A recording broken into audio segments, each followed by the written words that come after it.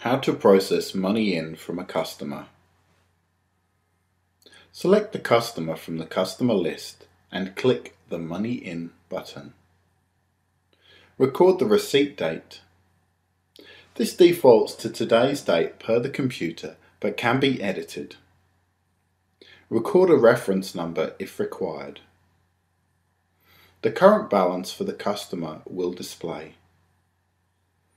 Select from the Auto Apply options.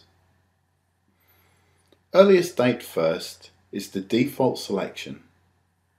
While this is selected, when you enter the total amount received in the Amount Received box and press Enter, the amount will automatically be applied to the oldest invoices first.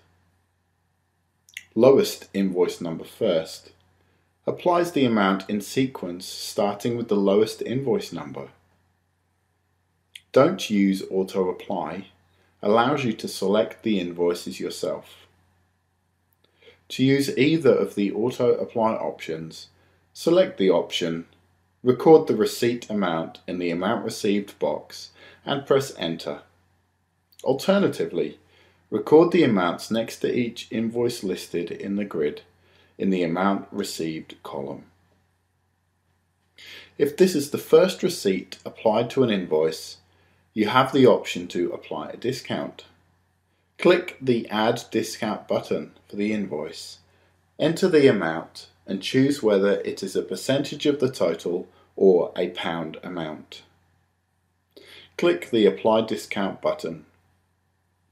To transfer the amounts received into a cash flow account, Click in the Transfer to Cash Flow tick box. Select the cash flow account in which to record the money in. If you want to combine into a single transaction, tick the Group as one entry tick box. Click the Continue button. Allocate the amounts to the appropriate allocation columns and click the Save button.